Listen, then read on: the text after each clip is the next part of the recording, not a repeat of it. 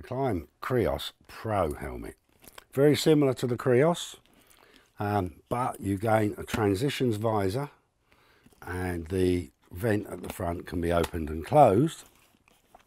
Internally it has the Koroyd um, padding instead of EPS, um, which supposedly absorbs 48% more of the impact.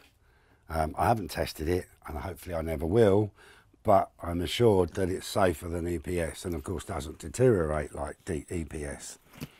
What I'm holding here is without the peak. It comes with the peak as well, which fixes here, here and here, but you can use it as a full face or with the peak for adventure. Other venting is like the same as the as the regular Krios.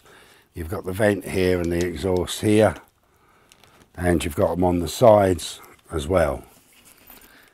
It does have a similar Coolmax lining, but it also features the magnetic uh, catch, which is nice and safe and easy and quick to use.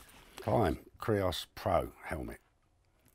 Comes in sizes extra small to 3XL and comes with a peak and a Pinlock.